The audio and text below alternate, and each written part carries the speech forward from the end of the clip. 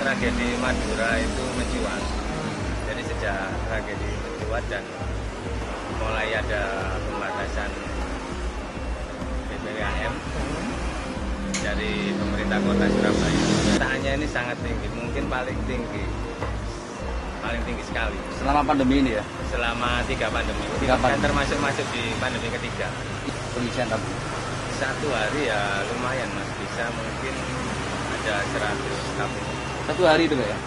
Tabung sekarang itu tabung oksigen itu sangat langka sekali di pasaran ya. Jadi di, di luar itu sangat langka sekali.